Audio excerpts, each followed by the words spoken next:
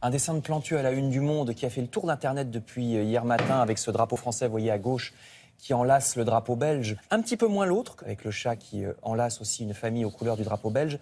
C'est à partir d'aujourd'hui, Julia Ça démarre aujourd'hui, ça va durer une semaine. Ce mouvement sur la toile qui s'appelle Tous unis contre la haine, l'idée c'est vraiment de créer un mouvement collectif pour que chacun puisse s'exprimer, chacun puisse s'identifier. Le pape François a inauguré ce week-end son compte Instagram. Là, on le voit avec le fondateur Comment il d'Instagram. s'appelle le compte?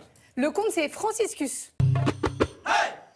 Le peintre représentait les joueurs euh, comme des danseuses. Oui, on dirait des baigneuses, Oui. vous savez, les- qui, qui vont, à- qui vont à l'eau avec leur petit côté. ballon, ouais. ouais. Je vais jongler avec. Ouais, Vous imaginez les gars dans le vestiaire du PSG, là, habillés comme ça en faisant- Surprenant, non? Merci pour tout, et notamment pour votre robe assortie à nos LED.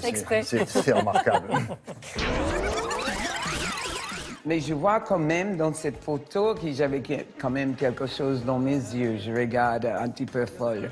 Je reviens dans quelques heures pour vous en parler. Sept ans pour signer un traité, Mais décontractez-vous, sans William. aller chez le coiffeur. Merci beaucoup, à tout à l'heure. Je, je vous hais. Bon, allez, la suite, s'il vous plaît. Ce qui est très important pour moi, c'est le regard. À travers le regard, on connaît les gens. C'est pour ça qu'il y a des gens, certaines religions, qui disent Vous ne pouvez pas me photographier parce que vous me volez l'âme.